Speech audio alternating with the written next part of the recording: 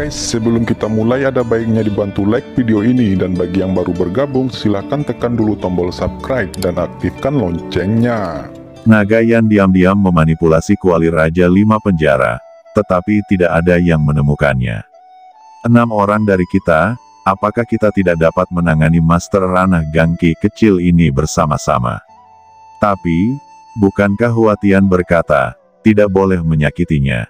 Hah, terserah apa yang Huatian katakan, kita harus membunuh Fang Han ini, merebut senjata ajaibnya, dan Huatian Du tidak akan berani merugikan kita.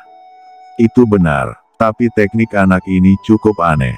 Meskipun itu adalah kekuatan magis dari sistem kayu, itu bukan Tianmu Dafa dari Yuhuamen. Kualitas kinya sangat tinggi, dan termasuk langka di dunia. Jika kita bisa mendapatkan metode kultivasinya, basis kultivasi kita pasti akan melangkah lebih jauh. Kalau begitu, tangkap dia dan tanyakan padanya tentang metode kultivasinya. Ki orang ini memang aneh. Bahkan badai gelap senior Suanyi tidak dapat membunuhnya. Ucap keenam murid Sekte Taiyi, berdiskusi saat menyerang Fang Han secara bersamaan. Namun, saat mereka bersiap untuk melaksanakan rencana mereka, Raja Lima Penjara Ding didesak oleh Nagayan, untuk berputar dengan panik, dan aura berbahaya meledak. Dampak dari kuali Raja Lima Penjara kali ini, suara yang dihasilkannya bukan lagi ledakan sonik, tetapi suara halus yang samar, mengambang di angkasa, berkedip-kedip seperti hantu dan dewa, dan langsung muncul di depan enam orang itu. Kekuatan yang kuat menutupi semua suara, dan pada saat yang sama mengeluarkan isapan yang kuat, mencegah enam orang itu melarikan diri. Ki keenam orang ini disedot seperti lautan, itu dilemparkan ke Wang Ding, dan mereka tidak dapat menstabilkan tubuh mereka. Tidak baik. Ucap Zhao Xuan terkejut ketika dia melihat adegan ini. Sebenarnya ada master tersembunyi.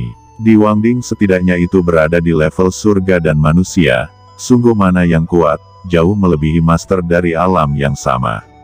Pikiran Zhao Xuan berkelebat, dia ingin bergerak, tapi sudah terlambat. Naga Yan sudah bergerak, menangkap keenam orang itu bersama, dan kemudian mengambil nyawa mereka. Ini juga mengancam Zhao Xuanyi, Song Weiyi, dan pergi menghindar dari sini. Long Xuan di kuali raja melihat ada enam orang di kuali, semuanya jatuh di depan layar.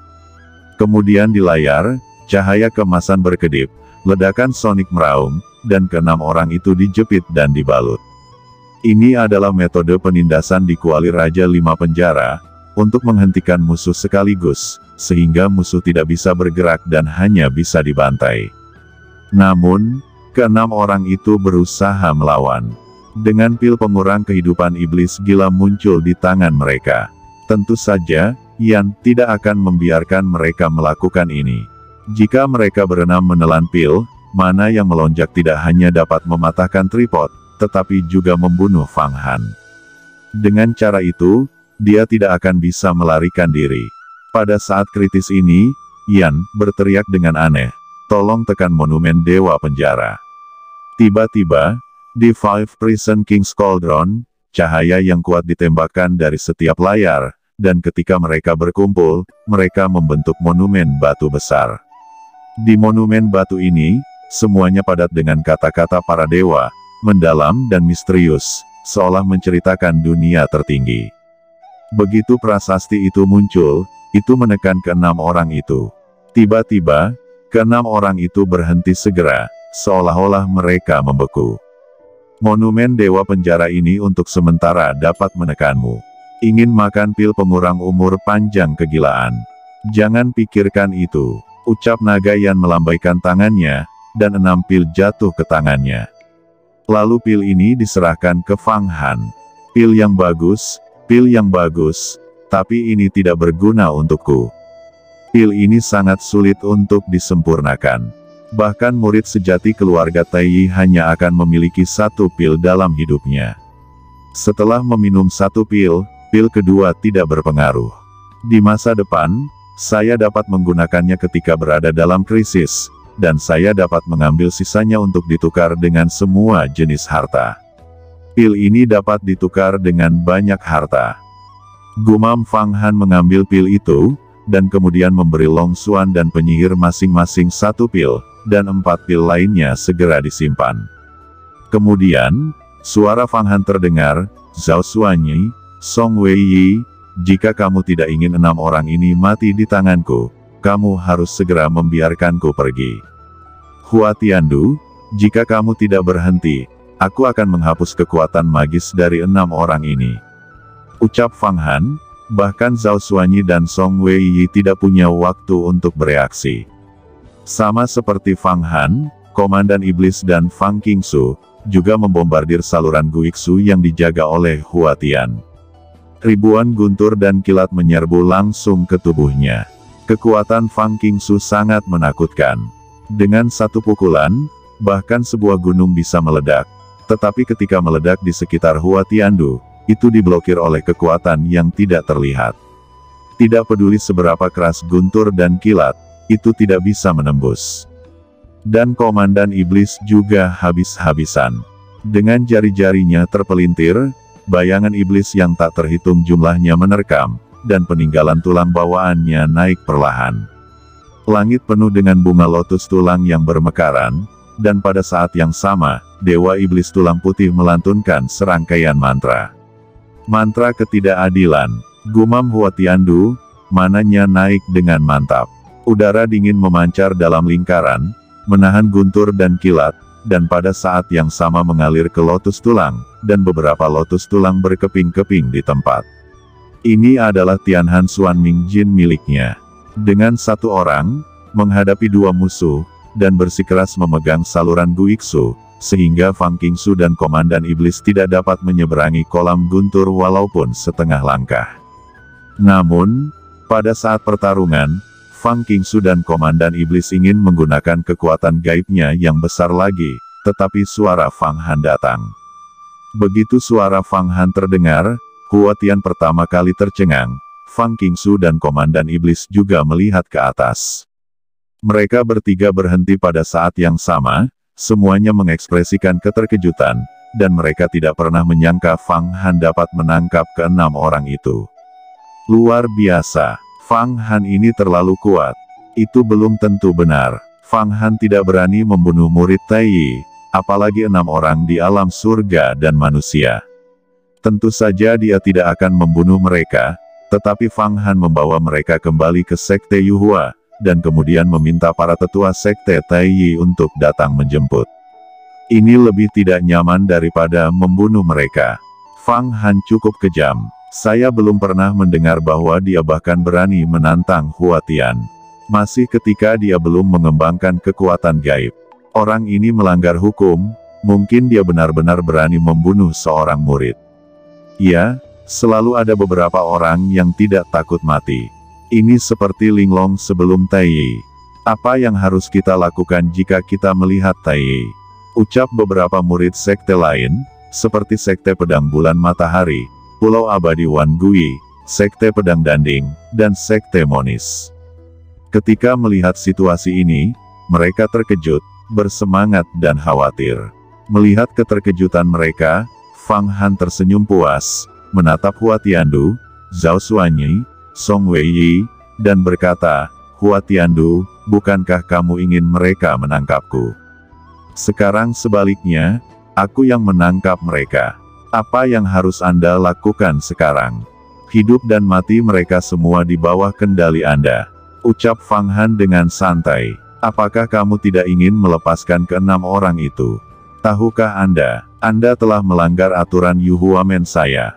Ucap Hua Tiandu. Betulkah?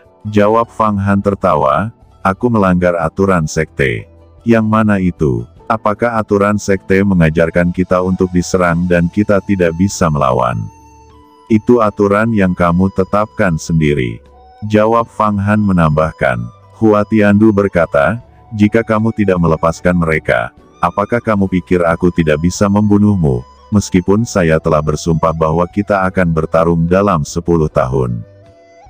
Tapi lima penjara Raja Ding yang kamu gunakan untuk berurusan dengan murid abadi, aku bisa merampasnya darimu, agar jangan sampai kamu menyakiti murid immortal Dao lagi. Ucap Huatian tanpa ekspresi, tetapi semua orang bisa melihat bahwa dia benar-benar marah. Hua Tiandu, bisakah kamu mencobanya?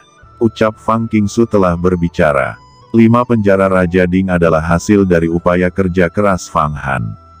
Terakhir kali, Anda mengambil tujuh labu jahat saya, dan saya tidak mengganggu Anda. Dan kali ini, kamu harus bertanya padaku apakah saya setuju atau tidak. Ucap Fang Qingsu menambahkan, apakah Anda pikir saya serakah untuk Wang Ding ini? Labu Kisha telah dimurnikan kembali oleh saya, dan kekuatannya telah meningkat 10 kali lipat, dan telah diberikan kepada saudara perempuan Anda. Tampaknya jika Anda menuduh saya demikian, itu tidak masuk akal. Jawab Huatian berkata dengan dingin. Fang Han, izinkan aku mengajukan satu pertanyaan lagi. Apa kamu tidak ingin melepaskan mereka? Ucap Huatian sedikit mengancam. Huatiandu, apakah kamu pikir aku anak kecil dari setahun yang lalu? Apakah kamu berani melakukannya? Aku akan membunuh enam orang sungguhan ini. Percaya atau tidak, apakah kamu pikir aku tidak berani? Cobalah dan mari kita lihat. Ucap Fang Han dengan wajah muram. Tiba-tiba, Hua Tian menggerakkan tubuhnya. Sebuah hantu keluar dari kepalanya. Bayangan ini mengenakan pola seribu bulan dan bintang. Yang paling misterius adalah bayangan ini memiliki sembilan tangan, dan lima kepala. Masing-masing dari sembilan tangan memegang senjata ajaib yang berbeda. Wajah-wajah di lima kepala bayangan ini semuanya tahu, persis sama dengan Huatian, tetapi dengan ekspresi yang berbeda. Ada senyum tipis, ada keseriusan, dan ada kemarahan, dan setiap mulut mengeluarkan suara. Ternyata itu adalah kekuatan gaib tingkat sembilan. Lapisan ketujuh kekuatan magis adalah inti emas, dan lapisan kedelapan adalah bencana angin dan api.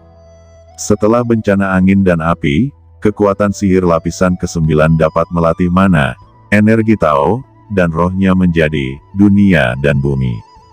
Kekuatan magis setiap orang berbeda, dan fenomena langit dan bumi yang mereka latih juga berbeda. Huatian telah menampilkan dewa kelahirannya sendiri, Dharma langit dan bumi, yang menunjukkan bahwa mereka benar-benar bergerak. Begitu dewa kelahiran, fenomena langit dan bumi, ini terbang keluar, tangannya yang besar menggenggam keluar, segera menutupi langit, angin, dan awan berubah warna, dan itu menyelimuti Fang Han. Meskipun Fang Han menghitung bahwa Hua Tian bisa melakukannya, dia tidak menyangka bahwa Hua Tiandu begitu kuat. Begitu dewa kelahiran Heaven and Earth Faxian keluar, semua arus udara hampir membeku.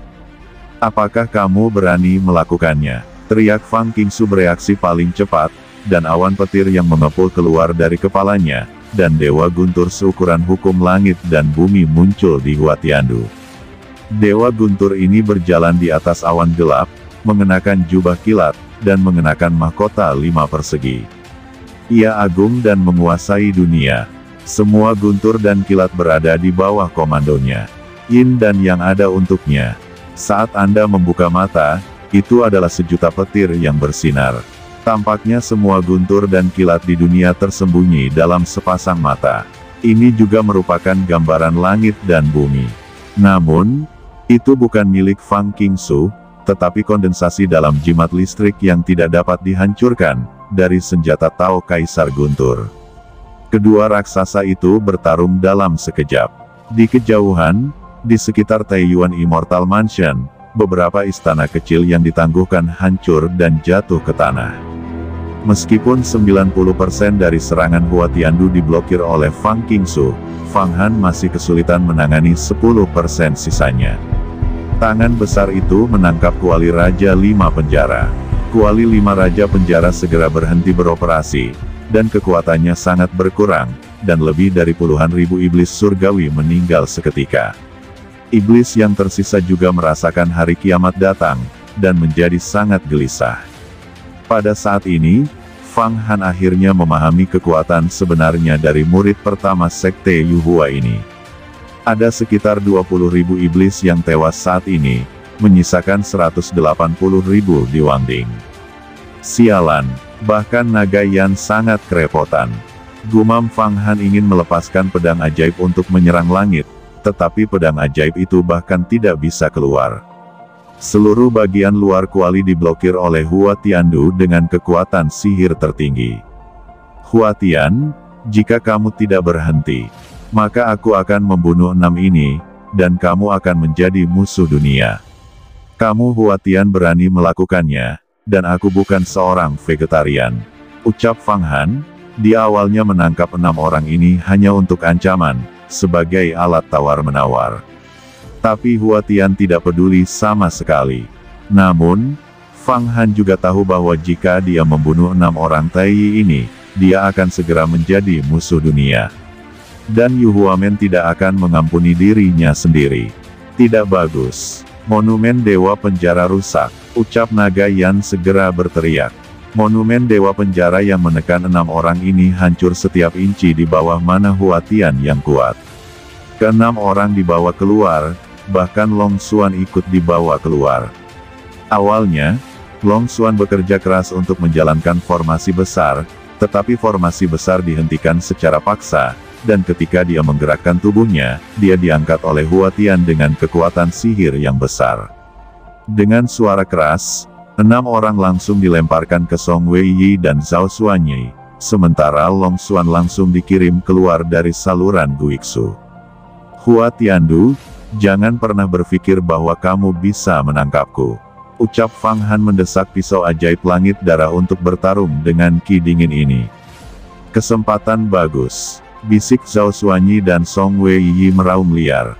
Dua master tingkat inti emas tiba-tiba mengambil tindakan. Satu menunjukkan badai matahari hitam, yang lain menunjukkan api matahari besar, dan keduanya membantai Fang Han. Ayo sempurnakan orang ini. Pada saat yang sama sempurnakan tripod ini. Ucap kedua orang ini. Begitu dia meniup ke dalam kuali, Fang Han merasa tubuhnya meleleh berputar-putar. Ini benar-benar pemurnian. Fang Han tidak bisa menahan kekuatan gabungan dari dua master inti emas ini.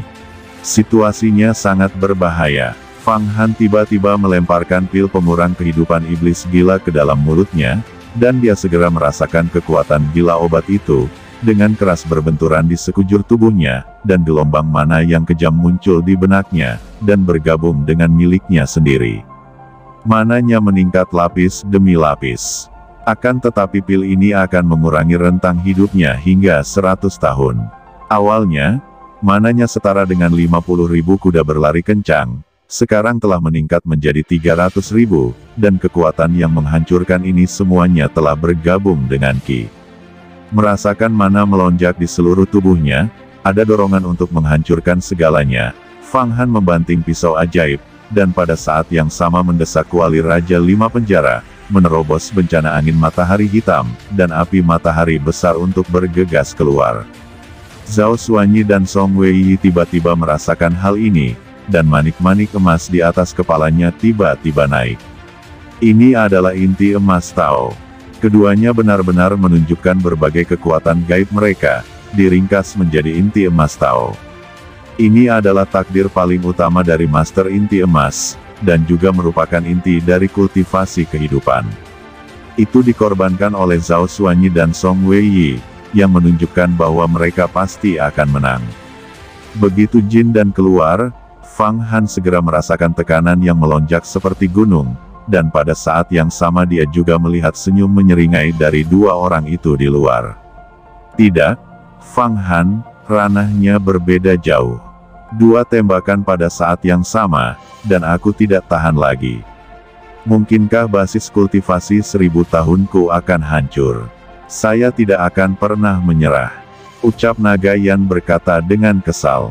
Tiba-tiba, Fang Han menggertakkan giginya, dan meledak dengan kekuatan yang belum pernah terjadi sebelumnya, memacu Wang Ding dengan seluruh kekuatannya, dan dengan desir, dia terbang ke Taiyuan Immortal Mansion.